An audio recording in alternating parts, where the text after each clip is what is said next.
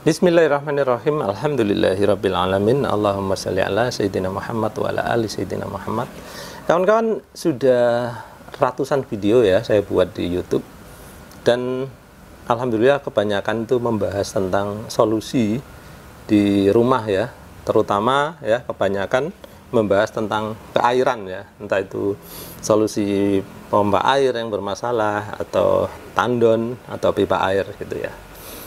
Nah, selain solusi tentang rumah ya kawan saya juga banyak membahas tentang ini ya memberantas penipuan-penipuan yang beredar yang viral di masyarakat gitu ya.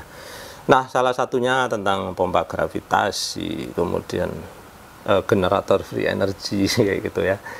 Nah tentu saja banyak yang pro dan kontra ya kawan banyak orang itu yang masih kekeh mempercayai penipunya daripada mempercayai saya gitu ya Ya udah nggak apa-apa ya karena karena apa tujuan saya itu hanya ingin menyadarkan ke orang ya bahwa apa yang mereka lihat itu belum tentu benar gitu ya.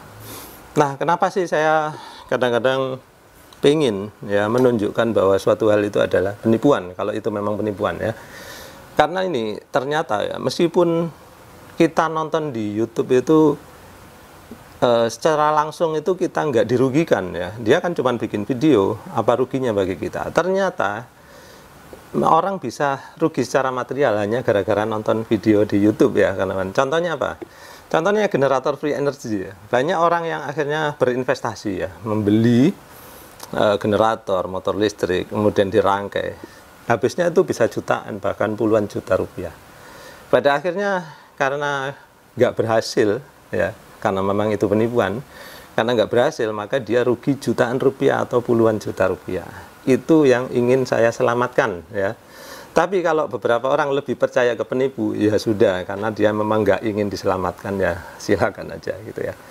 Nah beberapa orang itu bahkan ada yang sampai istilahnya menggugat saya gitu ya kan saya nyampaikan ini itu benar nggak sih gitu ya?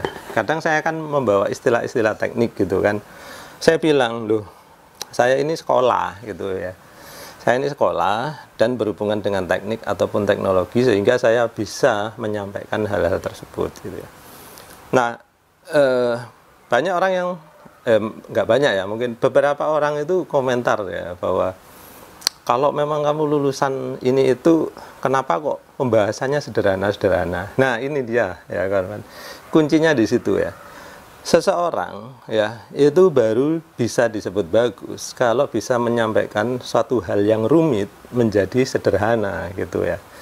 Kalau orang menyampaikan suatu hal yang rumit secara rumit ya itu tempatnya ada di kampus biasanya ya kan kalau dibawa ke YouTube sini orang nggak akan eh, mudah menerimanya. Karena apa? Sulit diikuti gitu ya. Nah beberapa orang itu yang nggak percaya itu mempertanyakan oh, kamu ngomong ngaku-ngaku sekolah ada ijazahnya nggak? Nah ini dia. Saya bawa di sini ya kawan nah kalian lihat sendiri ya di sini. Saya sih nggak ingin mengekspos ya. Maka saya tunjukkan latar atau halaman belakangnya aja. Tapi isinya ini ijazah ya kawan nah seperti ini Nah ini ya, saya nggak ingin mengeksposnya, tapi kalau ada yang nggak percaya, kemudian misalkan nih melaporkan saya ke polisi bahwa saya punya ijazah palsu, saya punya aslinya, saya bisa membuktikannya, gitu ya. Jadi kalau sampai ada yang misalkan nih ya dari jauh mubahalah gitu ya, menuduh saya punya ijazah palsu, saya yakin insya Allah pasti menang ya bahkan yang mubahala mungkin akan disambar petir karena saya punya aslinya gitu loh ya kan kan. Jadi saya nggak akan ribet-ribet nyari saksi yang membuktikan bahwa ijazah saya asli karena memang ada barangnya ya. Jadi kalian jangan sampai ya ada yang mubahala menuduh saya ijazahnya palsu ya karena saya punya gitu ya kan nah kemudian ngomong-ngomong tentang komplain ya.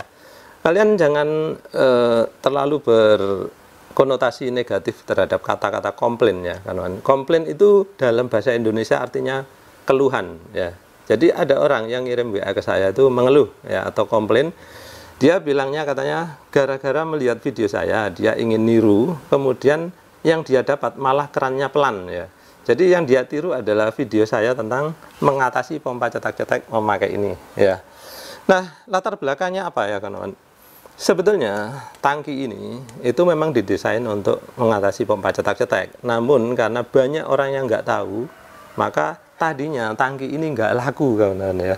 Setelah saya bikin video tersebut, akhirnya laris manis ya. Sehingga tadinya harganya ini karena nggak laku itu sampai jatuh ya, dijual orang 80.000. Sekarang kalau kalian cari harganya itu udah di sekitar 200 ribuan ya karena orang sudah pada nyari. Jadi Alhamdulillah ternyata video saya tersebut menjadi trendsetter ya. Orang-orang banyak sekali yang mencari tabung ini sehingga sampai banyak toko yang kehabisan stok tangki seperti ini. Baik kembali ke keluhan tadi ya. Apa yang dikeluhkan? Ya dia pengen ngikutin video saya yang tadi itu ya kawan-kawan. Ternyata yang dia alami adalah malah kerannya menjadi pelan setelah dia pasang tangki ini gitu ya. Nah terus saya pikir ya kalau keran pelan itu sebetulnya nggak ada hubungannya sama tangki ya. Setelah saya minta dia kirimkan ininya videonya saya ingin lihat pelannya seperti apa. Nah videonya seperti ini. Dan memang menurut saya sih terlalu pelan itu ya kawan nah masalahnya adalah e, kalau keran pelan itu kalian perlu melihat juga ya kalian periksa di ujung keran tersebut itu biasanya kan ada saringannya. Nah saya suruh dia buka saringannya Ter ternyata benar ya di ujung saringan tersebut eh, banyak kotoran yang nyangkut gitu ya. Nah bagaimana saya bisa tahu? Jadi gini kawan-kawan eh, ketika dia bilang dia mengubah perpipaannya yang saya pikir adalah begini pasti dia pernah motong pipa ya kemudian apa yang terjadi ketika dia motong pipa? Kalau sampai dia memakai gergaji besi ya maka ada kemungkinan rontokan dari potongan pipa itu bisa masuk dan terikut ke dalam air ya. Kemudian nyangkut di ujung keran tadi ya karena di saringan tadi. Nah itu yang terjadi ya. Atau bisa juga pasir entah dari mana ya. Misalkan dari sumur ya yang dihisap itu kan kadang mengandung pasir ya Solusinya yaitu periksa aja di ujung kerannya.